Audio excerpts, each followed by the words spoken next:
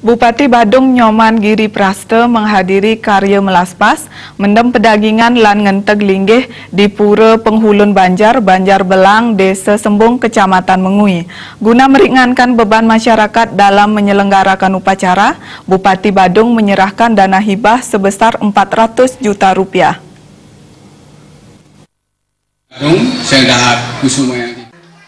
Bupati Badung Nyoman Giri Praste bersama beberapa tokoh masyarakat Badung menghadiri karya melaspas, mendem dagingan, lan ngenteglingi di Pura Penghulun Banjar, Banjar Belang, Desa Sembung, Kecamatan Mengui. Dalam kesempatan tersebut, Bupati Badung menyerahkan dana hibah sebesar 400 juta rupiah. Selain itu, masing-masing tokoh masyarakat termasuk Bupati Badung juga menyerahkan dana pribadi sebanyak 5 juta rupiah. Dana pribadi diserahkan oleh I Bagus Alit Sucipte, Nyuman Saril, anggota DPRD Badung, dan I Gusti Ngurah Kusuma Kelakan.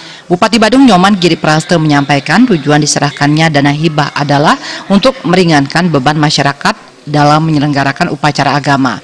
Selama ini Bupati Badung sudah membantu kebutuhan pribadi masyarakat melalui pendidikan gratis, biaya kesehatan gratis, serta berbagai kebutuhan lainnya.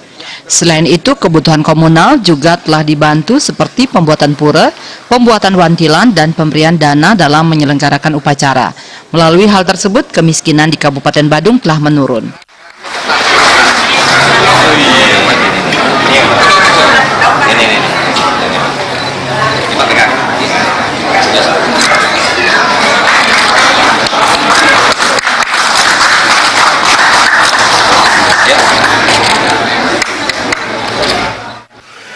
Saya sudah memahami umat Hindu yang ada di Kabupaten Badung ini, bahkan umat Hindu di saat Nusantara juga mengalami hal yang sama.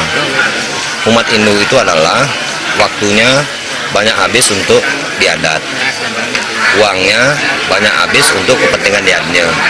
Persoalan adat itu apa? Salah satu contoh ada mecaru kemance, ada pawiwahan, nikahan itu ada nyekah bersama begitu juga ada puja wali di Merajan di Paibon, Dadil di Banjar Kayangan Tiga dan Kayangan Kayangan Jagat Sat Kayangan begitu juga Hari Raya Suci Hindu Galungan Kuningan, Nyepi, Saraswati, Purnamo, sama Tilam itulah saya sebut bahwa banyak sekali waktu itu habis untuk adat semua itu masyarakat mengeluarkan dana untuk itu Nah oleh karena itulah saya selaku bupati turun ke lapangan untuk membantu meringankan beban masyarakat.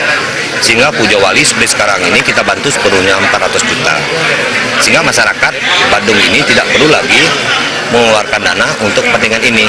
Harapan saya sederhana, saya ingin dana itu milik masyarakat tidak perlu urunan sehingga dikelola oleh rumah tangga, maka ekonomi akan naik. Sepanjang kebutuhan, kami berkomitmen, kami akan melihat secara proporsional kalau memang dibutuhkan 400 juta, saya bantu 400 juta. Kalau dibutuhkan 2 miliar, saya bantu 20 miliar. Ini komitmen saya selaku bupati untuk meringankan beban masyarakat Kabupaten Badung. Lebih lanjut, Kiri Praste menjelaskan di tahun 2019 mendatang, pemerintah Kabupaten Badung akan senantiasa membantu meringankan beban masyarakat sesuai dengan kebutuhannya. Desak Aryani dan Gung Krisna